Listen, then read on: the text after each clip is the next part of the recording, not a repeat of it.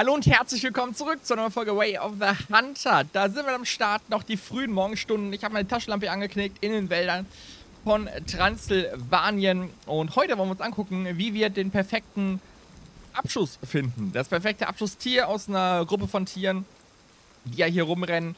Ähm, was für Tiere es sich lohnt zu schießen, welche man rausschießen sollte, welche man leben lassen sollte, damit man auf lange Sicht natürlich eine bessere Population bekommt und auch die besseren Trophäen. Und dazu gehen wir jetzt hier die 350 Meter noch bis zum Hochsitz. Denn äh, da auf der Wiese sollten in den frühen Morgenstunden ein paar Rehe fressen. Und da weiß ich schon mal, dass in, den, in der Herde auf jeden Fall ein paar Tiere drin sind, die wir schießen können. Und das ist natürlich ein großer Punkt, dass man auch die Knowledge hat oder das Wissen, woher oder wo die Tiere stehen, die man schießen möchte oder wie die, wie die Herden aufgebaut sind, sich das merkt, ähm, vielleicht sogar Notizen macht. Denn die ganze Karte ist natürlich riesig und wenn man da jetzt die Gebiete hat, wo die Tiere sich aufhalten, muss man sich trotzdem merken, aha, okay, da stand einer, der hat Potenzial, da stand einer, den kann ich schießen. Dann kann man seine Jagd ein bisschen planen und ein bisschen besser strukturieren. Also wichtig, wichtig auch einfach die Karte zu erkunden, die Tierherden ähm, zu entdecken und vor allen Dingen auch zu spotten, um zu gucken, welches Tier man schießen kann. Wichtig dabei ist natürlich zu wissen, dass die kompletten Tiere, die hier auf der Karte vorkommen, beziehungsweise die es hier im Spiel gibt, alle Altersstufen durchlaufen. Also es gibt da hier Jungtiere, erwachsene Tiere und ausgewachsene Tiere. Ähm, immer noch auf Englisch halt angezeigt, also Young, ähm, Adult und Mature.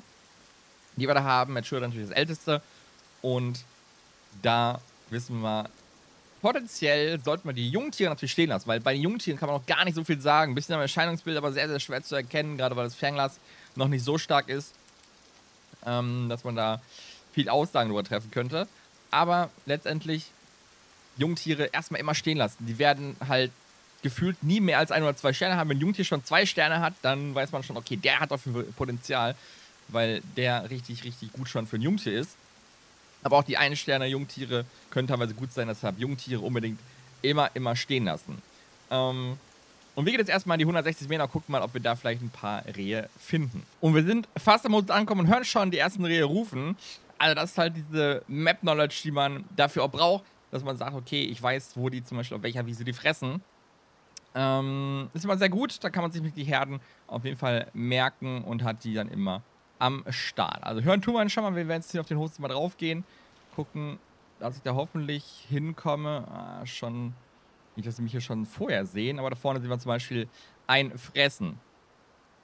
Auch noch 119 Meter entfernt, ich weiß gar nicht, ob wir auf den Host drauf können, unten sehen wir auch einen. Und da zum Beispiel sehen wir ein Rehbock Mature, das ist also ausgewachsen, älter wird er nicht mehr und hat zwei Sterne. Eigentlich ein guter Abschussbock und ich kann euch sagen, der hat vorher einen Stern gehabt, also der in dieser Herde hier waren drei ähm, Böcke, die ausgewachsen sind und einen Stern hatten. Alles drei gute Abschlussböcke.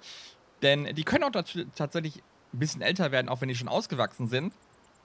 Aber viel älter dann eben auch nicht mehr. Und wenn die halt nur ein oder zwei Sterne haben, vielleicht auch drei Sterne und schon ausgewachsen sind, dann lohnt sich auf jeden Fall, die abzuschießen, weil die werden keine gute äh, Genetik haben, kein gutes Fitnesslevel. Und dementsprechend kann man die auf jeden Fall ganz gut rausnehmen. Also der hier auf jeden Fall definitiv ein Abschussbock, den wir da haben. Ähm, hier, die Ricke ist schon alarmiert, da müssen wir ein bisschen aufpassen, auch erst alarmiert, weil wir jetzt hier draufgegangen sind.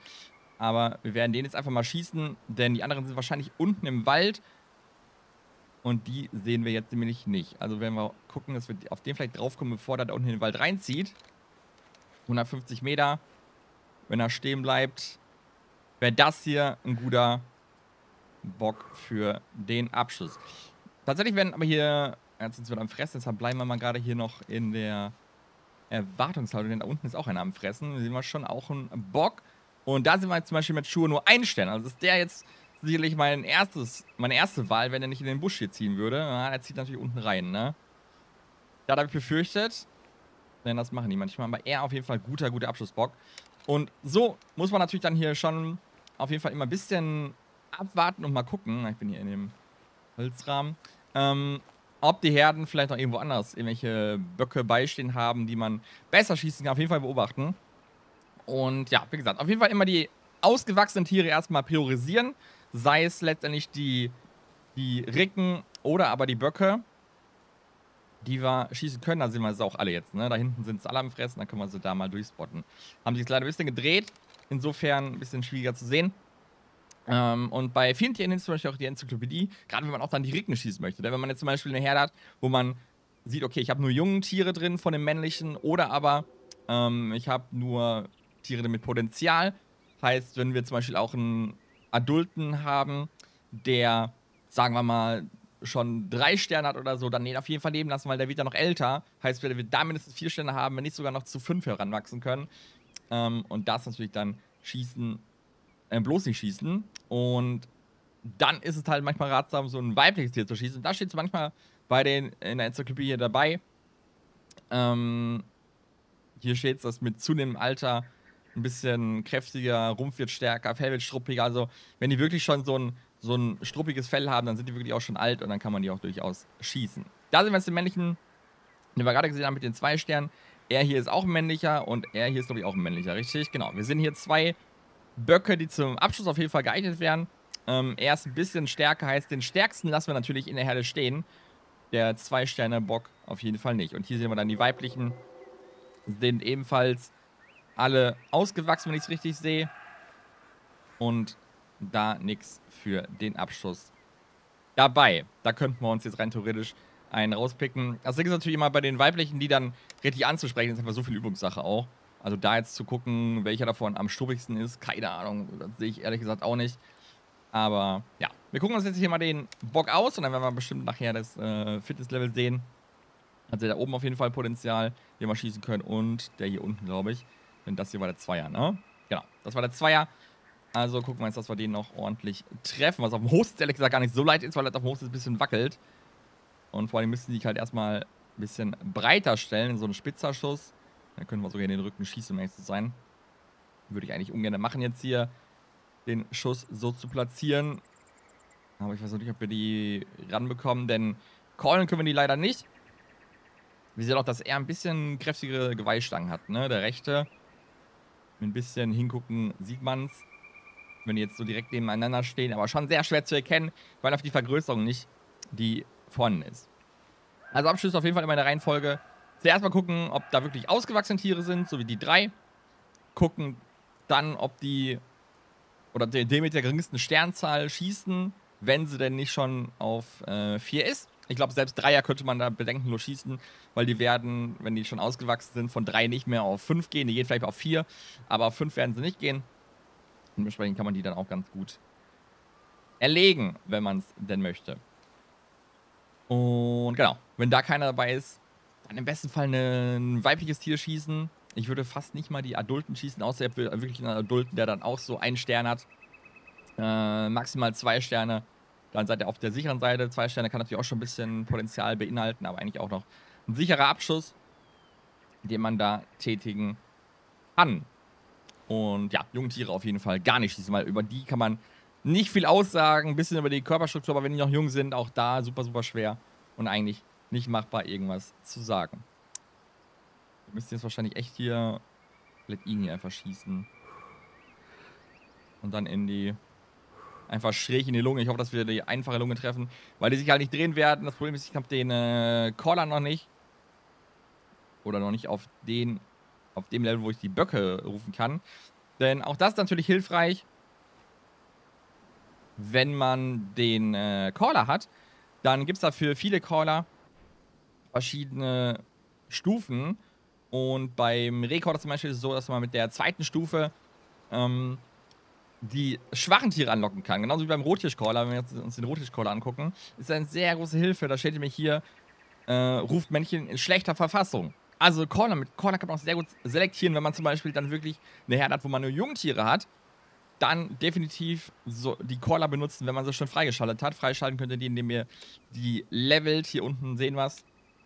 Ähm, für die zweite Stufe müssen wir 10 Tiere erlegen, die dann mit dem Call angelockt wurden. Sprich, wir können jetzt hier Ricken anlocken, könnten noch vier Ricken schießen, hätten das freigeschaltet. Beim Hirsch, wie gesagt, können wir die, die schlechten Männchen anlocken und dann hätten wir Stufe 2 freigeschaltet. Was dann beim Reh dazu führen würde, dass wir den Caller freischalten würden oder den Ruf freischalten würden, der die Männchen in, oder die Böcke in schlechter Verfassung anlockt. Und das wäre dann richtig gut zum Selektieren. Und dann würden wir wahrscheinlich sehen, dass alle drei sogar äh, in dem Moment zu mir kommen. Hier unten im Busch war gerade noch irgendwo einer. Den sehe ich aber nicht, habe ich noch mal gehört. Also ich habe nicht aufgepasst, ob es das Männchen war oder nicht. Oder ob es eine Ricke war. I don't know. Aber ich würde sagen, wir schießen jetzt einfach da einen Bock, versuchen ihn zu schießen und zu treffen. Ob das passt, ich natürlich beim breiten Schuss, aber können wir nicht immer haben. Also Call auf jeden Fall auch zunutze machen. Definitiv eine gute Option. Und jetzt sind beide Böcke da nebeneinander. Achso, das ist sogar der vierte Bock, ne? Guck mal, der vierte Bock ist gerade rausgezogen aus dem Busch unten. Dann gucken wir uns den auch mal eben an. Denn eigentlich waren hier nur drei. Und da sind wir auch mit Schuhe 2, genauso wie der. Also auch schon ein ausgewachsener. Den habe ich ehrlich gesagt noch nie gesehen. Ich habe immer nur drei hier gesehen. Und da sind wir halt dann die bei 1. Okay, also der linke unten, der ist unser Abschussbock.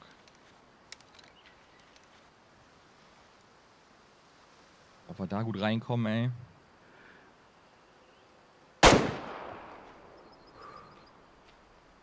Hat auf jeden Fall Lungentreffer, würde ich sagen. Wir sehen da die Schweißfährte. Und da hinten zieht er lang im Busch. Und den werden wir uns jetzt holen, denn der sollte, wie gesagt, keine allzu gute Fitness aufweisen. Ein Stern nur. Und schon ausgewachsen. Hier wollen wir mal gucken, was wir da getroffen haben. Sah auf jeden Fall nach pinkem Schweiß aus und damit nach der Lunge. Also der Schuss schon ganz gut, auch wenn er jetzt nicht breit war. Lunge sollten wir aber auf jeden Fall getroffen haben. Fluchtdistanz könnte aber hier tatsächlich wieder länger werden. Denn äh, wenn wir von hinten in den Rücken so schräg reinschießen, dann geht natürlich viel von der Aufpilzung schon im Fleisch verloren. Und eben nicht in der Lunge, wo wir es eigentlich haben wollen würden. Deshalb müssen wir jetzt mal gucken, ob wir den finden. Ich muss sagen, ich finde es sogar teilweise leichter, die Schweißpferde zu, guck mal, die sehe ich jetzt nämlich schon, ähm, zu finden, wenn dieser wenn dieses Jagdspiel ausgeschaltet ist. Denn hier sehen wir es, rosa mittlere Menge Blut, das ist gut, der wird nicht so schnell, äh, nicht, nicht so weit laufen. Aber hier, man sieht es teilweise echt leichter ohne das Jagdgespür, weil einfach die Farbe, gerade wenn man halt wirklich äh, die Lunge getroffen hat, dieses Rosa sich ganz gut abhebt und man dann der Spur eigentlich ganz gut folgen kann, weil man nicht immer auf dieses Blinken warten muss. Jetzt sieht man natürlich hier, wenn es leuchtet, ist okay, aber sonst ist es halt immer so ein bisschen ausgegraut, so ein bisschen verblasst und dann ist es ein bisschen schwieriger, die, die äh, Schweißfährten hier zu sehen, wenn sie nicht gerade immer gut ersichtlich sind. Aber hier sehen wir guter, gutes äh, Verfolgen auf jeden Fall hier möglich. Also ich bin drüber gelaufen, weil es hier auf dem Gras lag. Und dann sehen wir unseren Bock, den wir abgeschossen haben. Wir sehen hier jetzt, jetzt schon am Geweih eigentlich, dass nur ein ähm, Vierender ist. Für einen Rehbock natürlich richtig klein im ausgewachsenen Alter. Wir sehen hier den Schuss, den wir da haben.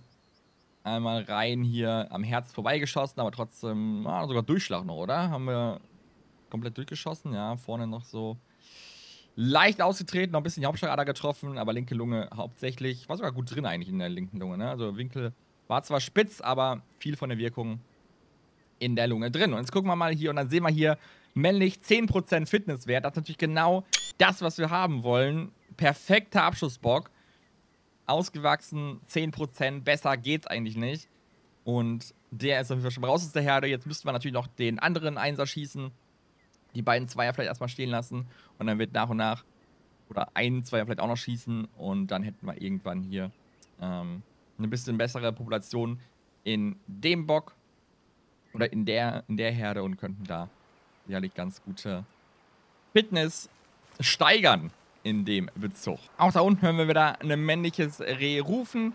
Wir sehen es noch nicht, weil wir noch hier an so einem Hang sind. Ich hoffe, dass wir es gleich äh, sehen können.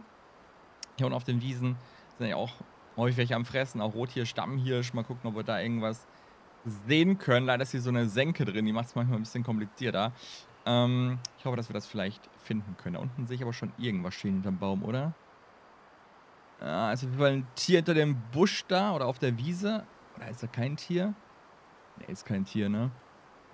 Aber hier unten, da stehen sie zum Beispiel. Und da sehen wir jetzt auch wieder Schuhe männlich. Da ist zum Beispiel ein Junger. Da ist zum Beispiel ein junger Bock, ein Stern, über den können wir gar nichts sagen, großartig. Da, den können wir schießen, aber wir würden richtig, richtig äh, strugglen, um den richtigen Abschuss hinzubekommen. Da sind wir ein weibliches Dreh. Genauso wie da. Und hier finde ich jetzt sieht man ganz gut, dass das hier viel dunkler ist. Und das da ein bisschen heller, könnte aber auch daran liegen, dass es im Schatten ist. Wir sehen es aber gleich, wenn es weiter nach vorne zieht. Das ist aber sehr hell, ne? Ich glaube, das liegt an, dem, an der Sonneneinstrahlung, um ehrlich zu sein. Ja, ja. Das wird jetzt auch hier verfärbt. Ähm, deshalb, da muss man auch drauf aufpassen, dass der Schatten da passt, ne? Oder hinaut.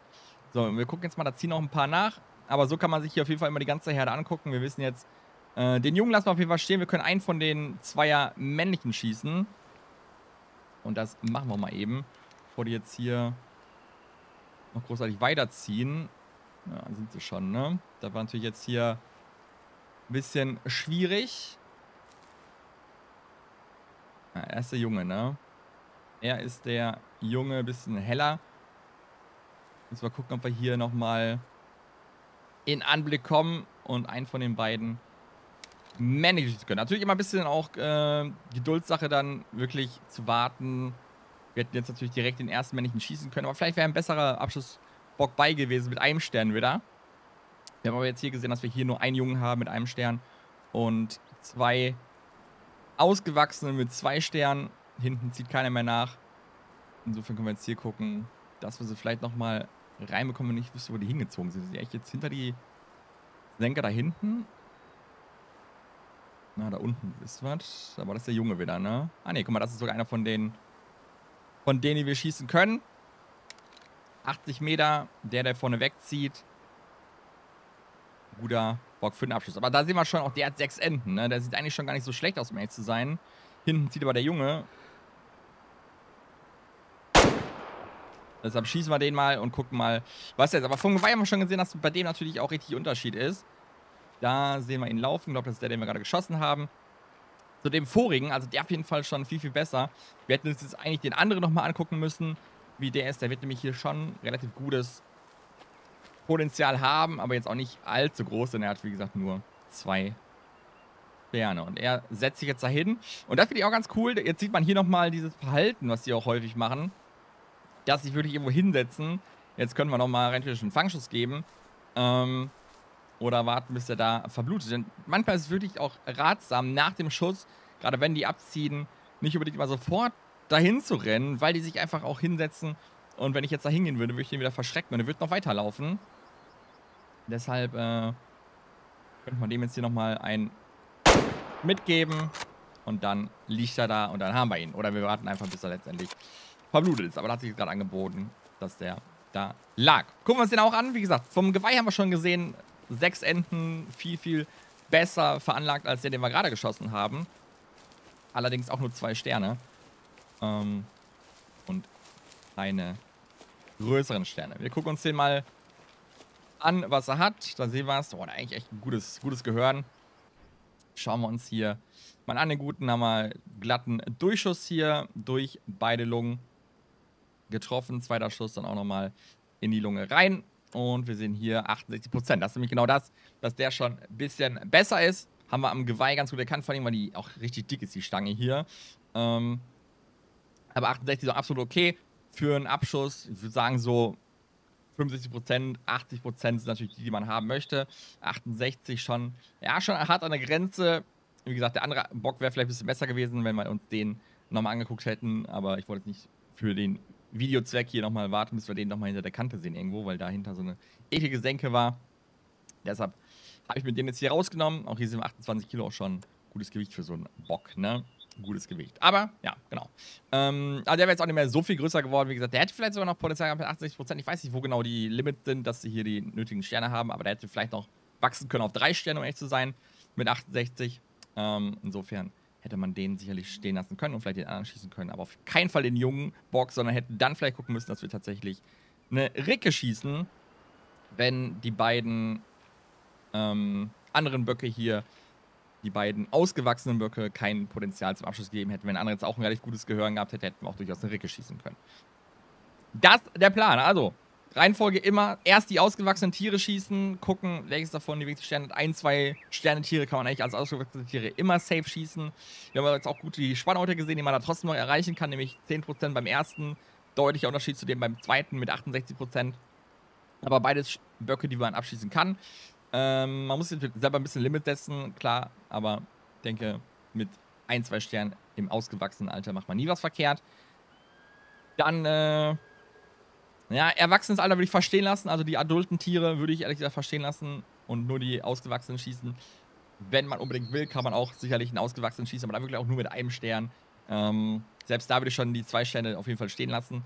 Und als dritten Abschuss dann ein ausgewachsenes Weibchen, das, was irgendwie so einen alten Eindruck macht und kein gutes Fitness-Level mehr haben sollte. Und das hier Reihenfolge der Abschlüsse und dann heißt es halt wirklich nur die Herden im Auge behalten und wissen, wo man welche Tiere hat, um da wirklich ein gutes Management an den Tag zu legen. Und natürlich Caller nutzen, die verschiedenen Call-Stufen, um halt auch dann nochmal rauszufiltern. Weil der zum Beispiel der 68er jetzt hier, der wäre wahrscheinlich gar nicht gekommen mit dem Call. Ich weiß nicht, wo da das Limit gesetzt wird, aber der wär, hätte wahrscheinlich auf den Call, um die schlechten Männchen auszufiltern, gar nicht so krass reagiert. Vielleicht aber doch, ich weiß nicht. Wahrscheinlich wird das auf 50% sein oder so. Ne? Ich bin mir nicht sicher. Habe ich noch nicht ausgetestet, so ausgiebig, aber ich weiß, wie das bei Rot hier schon ganz gut klappt. Und mit den Tipps und Tricks solltet ihr hoffentlich die richtigen Abschlusstiere finden, um dann natürlich auch die 5-Sterne-Trophäen irgendwann auf der Karte zu haben und die schießen zu können. Und da dann ordentlichen Bestand zu haben. Das ist gewesen, gewesen sein vom Video. Äh, ich hoffe, dem einen oder anderen hat es geholfen. Lasst gerne einen Daumen nach oben da, wenn es euch gefallen hat. Schreibt einen Kommentar abonniert den Kanal. Wir sehen uns im nächsten Video. Bis dann, macht's gut. Haut rein und auf Wiedersehen.